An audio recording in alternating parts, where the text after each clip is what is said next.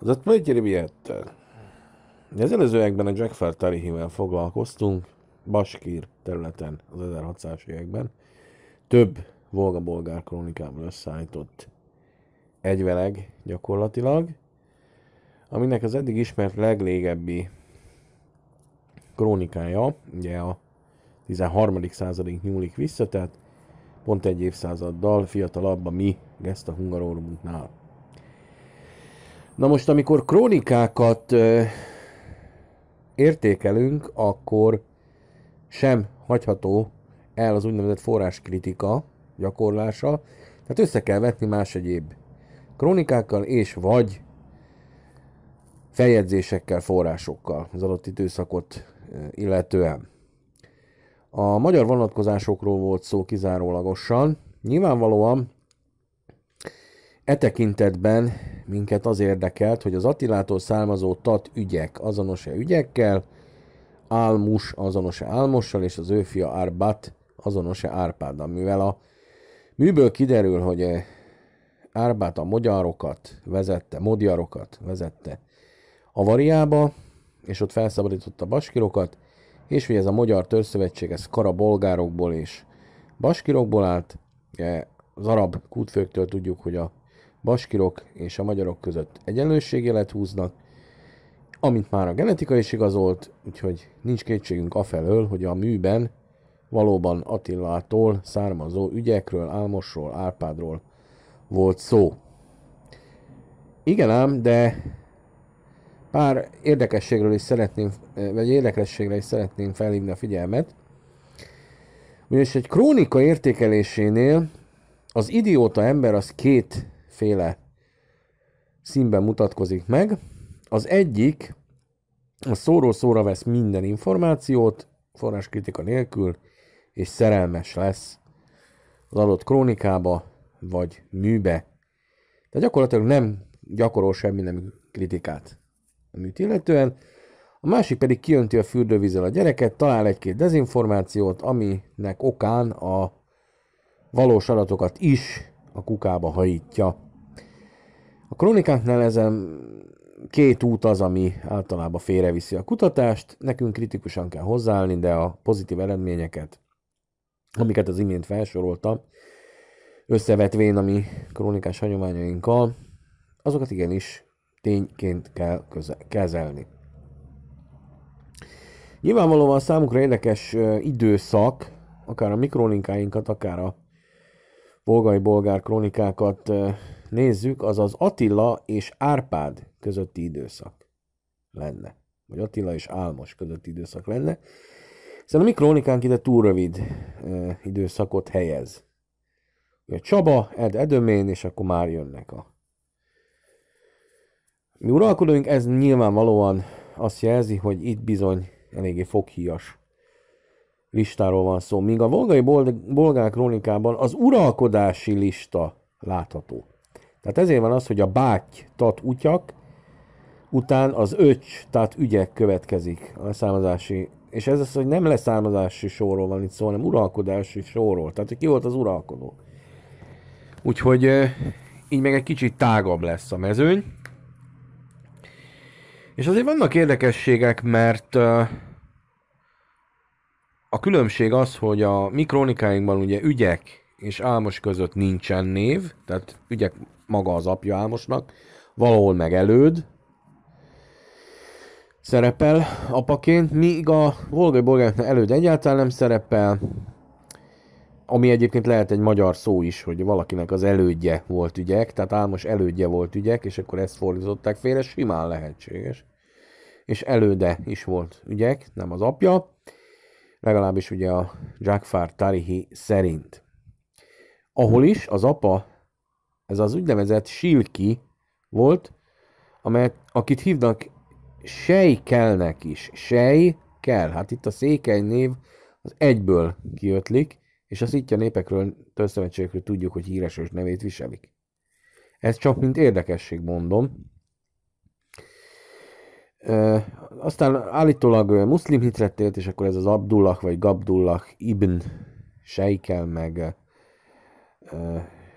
Gilki név is elterjedt.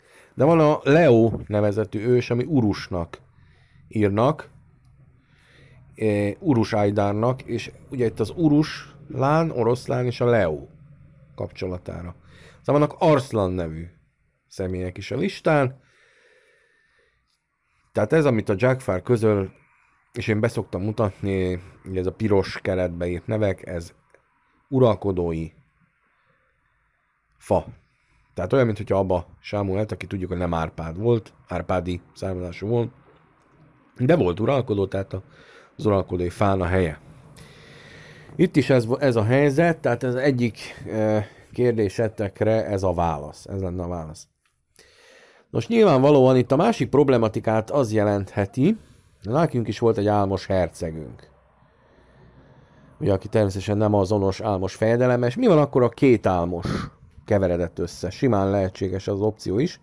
Ugyanis Ibn Fadlan valóban vendégeskedett 922-ben Volgai Bulgárországban. Tőle nagyon sok forrás van a magyarokra vonatkozóan is, és ő találkozott ezzel az úgynevezett álmissal, vagy álmussal. Hát 922-ben egészen biztosan nem élt már a mi álmosunk, hiszen ugye Árpád fejedelem is 907-ben hal meg, 67 évesen. Tehát maga Árpád lenne 80 valány éves 922-ben. Úgyhogy ha jó a dátum, már pedig miért ne lenne az, akkor ez egy másik álmos volt. Tehát minimum már kettő álmos, egy, akitől ténylegesen Árpád származott, és azt később összekeverte a krónikás hagyomány egy későbbi álmussal. De minden esetre e, ugyanúgy erről a durul, duló, durul házról van szó, hiszen ők adták az uralkodókat volgai Bolgárországban. És ebben az esetben elképzelhető az is, hogy valóban a krónikáinkban szereplő kendeölés, rituális kendeölés során vesztett életét álmos, és ez majd egy későbbi álmos lesz, akit később összekevertek. Tehát valójában neki nem volt Árbát nevű fia. Akinek meg volt, az egyértelműen a mi uralkodónk, vagy fejedelmünk volt, szakrális vezetőnk volt. Úgyhogy nagyjából ö, ennyi észrevételt szeretnék tenni ezzel kapcsolatban, és egyúttal megkérni mindenkit, hogy gyakran látunk olyan videókat, hogy kérdésekre válaszolok. Kérdések inspiratív hatnak, tehát elindíthatnak akár egy következő videó is, vagy ösztökélhetnénk egy következő videó elkészítésére.